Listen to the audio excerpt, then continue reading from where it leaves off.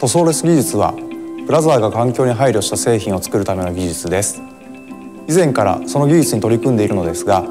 塗装レスで高品質な外観を実現するのに大変苦労しています。私が関わっているのは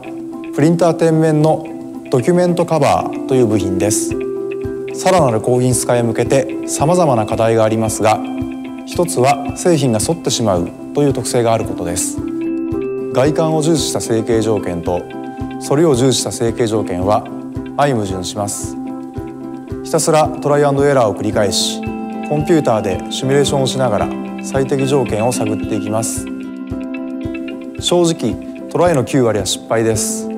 けれど反りがなく美しい製品に近づいた時は技術者として大きな達成感を感じます。